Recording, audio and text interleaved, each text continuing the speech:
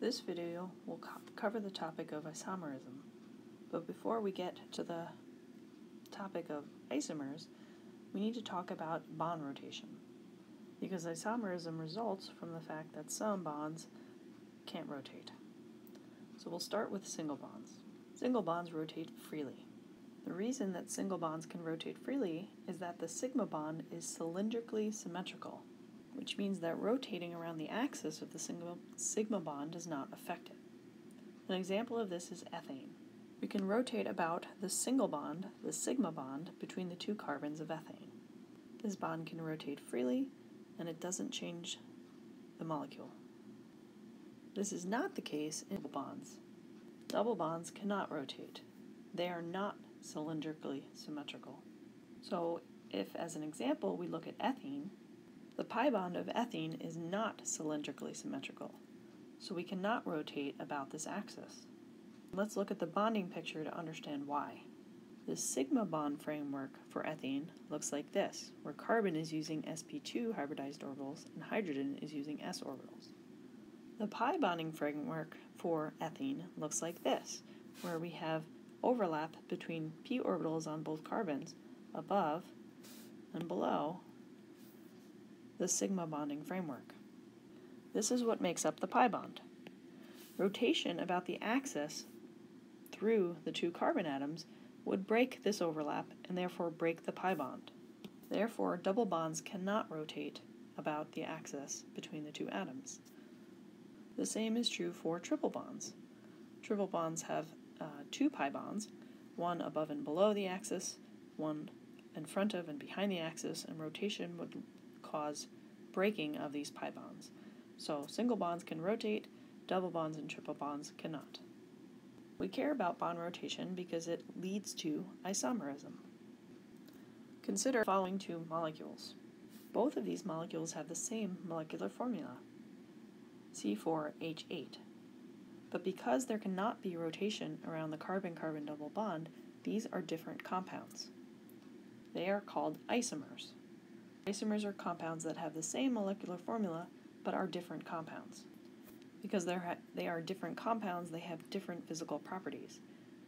The compound on the left that has the two CH3 groups on different sides of the double bond is called the trans isomer.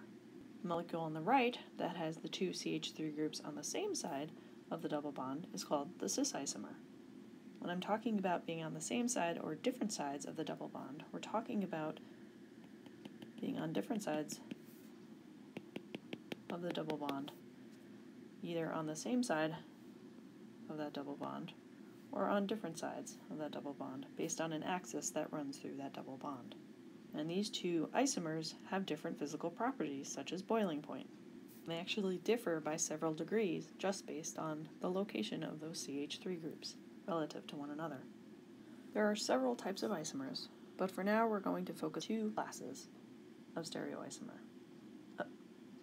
The first is called constitutional isomers. Constitutional isomers, or structural isomers, differ only in how the atoms are connected together. For example, let's look at some constitutional isomers with a molecular formula of C5H12. Remember that isomers are compounds that have the same molecular formula but are different compounds, so all of these constitutional isomers must have the same molecular formula, C5H12. All three of these isomers have the same molecular formula. If you count up the carbons and hydrogens, they should have 5 and 12 of each respectively, but they differ in how the atoms are connected together, making them constitutional isomers. The second type of that we will discuss at this point are called stereoisomers. Stereoisomers differ only in how the atoms are oriented in space. There's no difference in how the atoms are connected together. For example, let's look at two stereoisomers that both have the molecular formula C4H8. These two stereoisomers are the cis and trans isomers of the alkene that we considered before.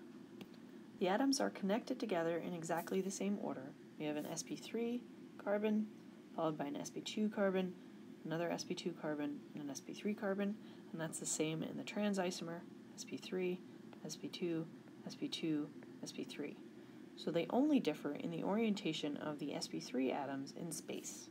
This is one example of stereoisomers. More specifically, these are called cis-trans isomers or geometric isomers. An example of a constitutional isomer with the same molecular formula could look like this. This molecule has the same molecular formula but differs in the order of attachment of atoms, specifically sp2, sp2, sp3, sp3.